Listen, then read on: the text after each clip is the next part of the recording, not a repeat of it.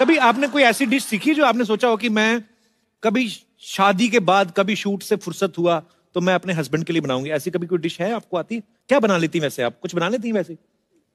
मैं रेसिपी देख के बना लेती हूँ बट uh, मैंने मटन बनाया हुआ है मटन करी बनाई हुई है। मैंने चिकन भी बनाया हुआ है। और दीवाना तो आप बना ही लेती हैं। मैं बड़ा हाँ जी जल्दी से हज़ार रुपए दो ना वो प्याज खरीदा है सब्ज़ी वाले को हज़ार रुपए के प्याज लेके आइए अरे नहीं प्याज पचास की है वो पार्लर में देना तैयार हो क्या आई ना? अच्छा ये तैयार हो? इससे अच्छा प्याज साढ़े नौ सौ के ले आती। सब्ज़ी तो अच्छी बनती। आ गई गुरुजी यही है मेरी समस्या। ये बुढ़ा कब तक रुकेगा यहाँ? बुढ़ा कहा अपने पापा को? ये बालक कब तक रुकेगा यहाँ?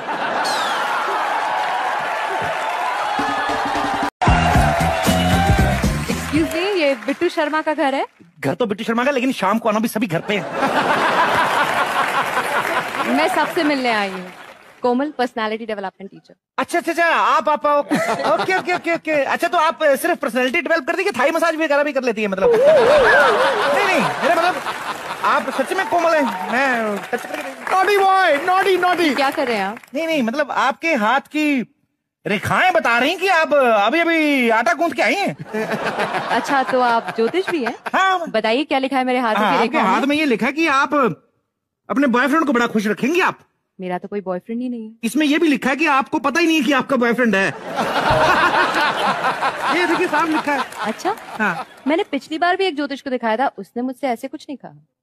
हाँ तो कैसे कहेगा? अभी अभी तो आया ये ये देखिए ना। टेक्स्ट रिसीविंग आ रहा है।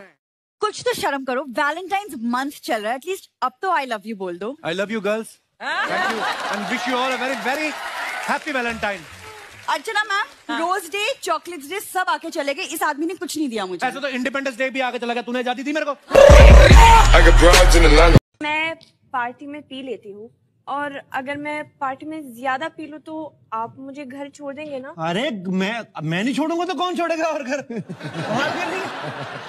गुड um, आपके काम पे आने और जाने का टाइमिंग क्या रहेगी? मैंने निकलना ही नहीं घर पे ही घर पे ही रहना मैंने। काम पे जाके क्या करना है मैंने? मैंने नहीं जाना काम पे।